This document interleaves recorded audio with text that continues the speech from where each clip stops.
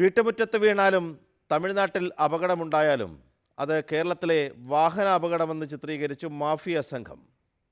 Insurance തട്ടിപ്പ് വെട്ടിക്കാൻ വേണ്ടി insurance തുക വെട്ടാൻ വേണ്ടി തട്ടിപ്പ് തുടരും. വിഴിഞ്ഞത്ത് വീട്ടുമുറ്റത്ത് അപകടത്തിൽപ്പെട്ട് കിടപ്പിലായ വ്യക്തിക്ക് തിരുവനന്തപുരം മ്യൂസിയം സ്റ്റേഷന് സമീപം അപകടമുണ്ടായെന്ന് വ്യാജരേഖ ചമച്ചായിരുന്നു തട്ടിപ്പ്. പണം നൽകാമെന്ന് വാഗ്ദാനം നൽകി കടലാസുകളിൽ ഒപ്പിടിക്കുന്നതായിരുന്നു ഒപ്പിടിക്കുകയായിരുന്നുവെന്ന് കിടപ്പ് രോഗി ഏഷ്യാനെറ്റ് ന്യൂസിനോട് പറഞ്ഞു. ഏഷ്യാനെറ്റ് ന്യൂസ് അന്വേഷണം തുടരുന്നു.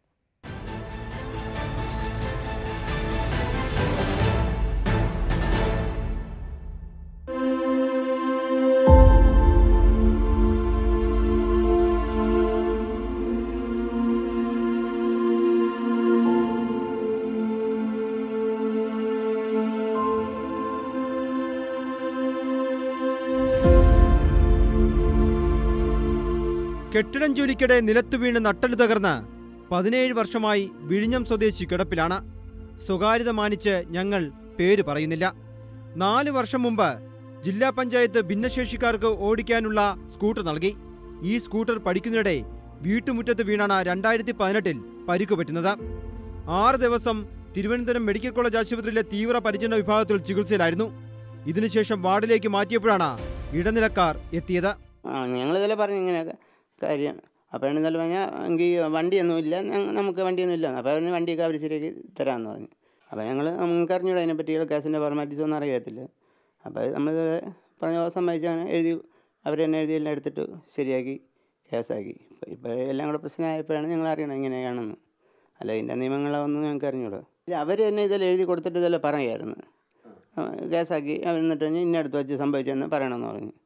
പോലീസ് വരുമ്പോൾ പറയുന്നു. ആ പോലീസ് പോലീസ് വന്നായിരുന്നു. മൊഴി എടുത്തു. ആ ഞങ്ങൾ ഒരു ദിവസം ഹോസ്പിറ്റലിൽ പോയിട്ട് തിരിച്ചു വന്നപ്പോഴേ അവിടെ മ്യൂസിയം സ്റ്റേഷനിൽ പോവായിരുന്നു.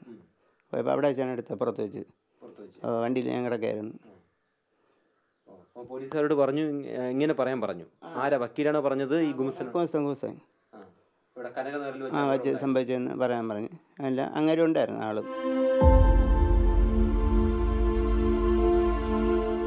വൻ ചികിത്സാ ചെലവും കുടുംബം പോറ്റാൻ വരുമാനവുമില്ലാത്ത സാഹചര്യത്തിൽ ഇടനിലക്കാർ പറഞ്ഞതുപോലെ മൊഴി നൽകുകയായിരുന്നു.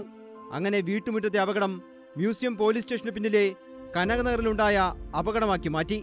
ചികിത്സാരേഖകൾ വാങ്ങിക്കൊണ്ടുപോയ ശേഷം ഇതേവരെ ഒന്നും ഇടനിലക്കാരനോ അഭിഭാഷകനോ അറിയിച്ചിട്ടില്ല. ക്രൈംബ്രാഞ്ച് കഴിഞ്ഞ ദിവസം വീട്ടിലെത്തിയപ്പോഴാണ് കേസിൽ പ്രതിയായ വിവരം അറിയുന്നത്. ഈ കേസിൽ മറ്റൊരു ട്വിസ്റ്റ് കൂടിയുണ്ട്. കിടപ്പ് രോഗിയെ ഇടിച്ചു എന്ന് പറയുന്ന ബൈക്ക് ഓട്ടിച്ച കൊല്ലം സ്വദേശി നിസാറുദ്ദീന് പരിക്കേറ്റത് മ്യൂസിയത്ത് വച്ചല്ല. ആ അപകടമുണ്ടായത് കേരളത്തിൽ പോലുമല്ല. രണ്ടായിരത്തി പതിനെട്ടിൽ മാർത്താണ്ഡത്ത് വച്ചാണ് നിസാറുദ്ദീൻ ഓടിച്ച ബൈക്ക് അപകടത്തിൽപ്പെട്ടത്.